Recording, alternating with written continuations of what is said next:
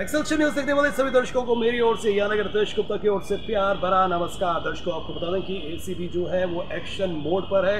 Anti corruption bureau ने जो है केस रजिस्टर किया है जम्मू कश्मीर बैंक के मैनेजर के खिलाफ, एक पॉलिटिशियन के खिलाफ और उसके ब्रदर के खिलाफ। जी हाँ मैं आपको जानकारी दे दूँ कि रेजिडेंसी रोड जम्मू में जो रेजिडेंसी रोड है, वहाँ पर जेके बैंक की जो ब्रांच है और उस वक्त के ब्रांच मैनेजर अनूप भट्ट जम्मू कश्मीर से पॉलिटिशियन विक्रम मल्होत्रा और उनके ब्रदर आदित्य मल्होत्रा के खिलाफ जो है ये केस रजिस्टर किया गया और ये मामला पूरे पाँच करोड़ रुपए का है।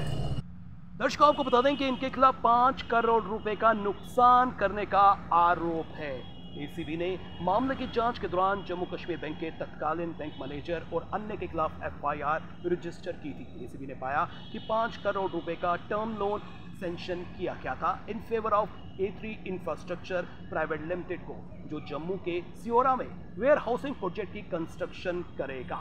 लेकिन जाँच में पाया गया कि loan amount A three infrastructure private limited के अकाउंट में सात महीनों की अवधि के भीतर वितरित तो की गई, लेकिन कंस्ट्रक्शन नहीं शुरू की गई। दर्शकों, आपको बता दें कि A three infrastructure private limited Aditya Malhotra और उनके भाई विक्रम मल्होत्रा की फर्म है जिन्होंने अपनी सिस्टर कंसर्न में ये लोन की अमाउंट ट्रांसफ़र कर दी थी। और वहाँ से लोन अमाउंट का मेजर पोर्शन ट्रांसफ़र किया गया था। और बाद में A three infrastructure private limited द्वारा गोदाम का निर्माण न किए जाने पर उसका परिणाम ये हुआ कि एफसीआई द्वारा जो कॉन्ट्रैक्ट उन्हें मिला था, वो रद्द हो गया। और रेंट जो आना था, वो रेंट नहीं आ पाया, जिसका नतीजा ये निकला कि लोन का अमाउंट जो है, वो एनपीए में तब्दील हो गया।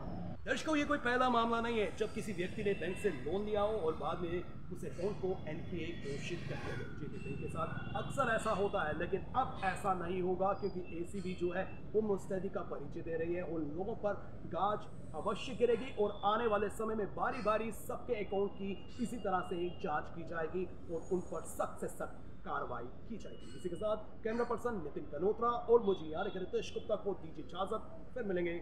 नमस्कार।